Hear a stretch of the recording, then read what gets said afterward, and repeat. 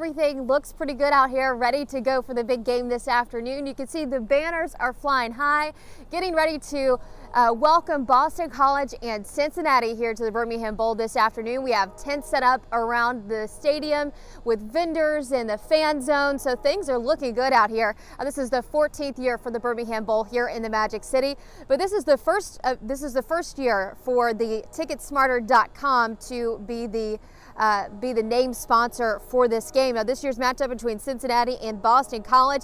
Cincinnati played in the Birmingham Bowl back in 2007, but this is the first appearance for Boston College. Uh, we spoke to Birmingham Bowl officials, and they are, you know, recognize that the weather out here not ideal for this game, but they hope that these teams will draw a lot of support from the community get your wet weather gear and come on out and have a good time. But it's support Birmingham, support our bowl game. You know, we're one of only 32 communities in the United States that, that, has a postseason football game, and so come out and, and, and be part of it.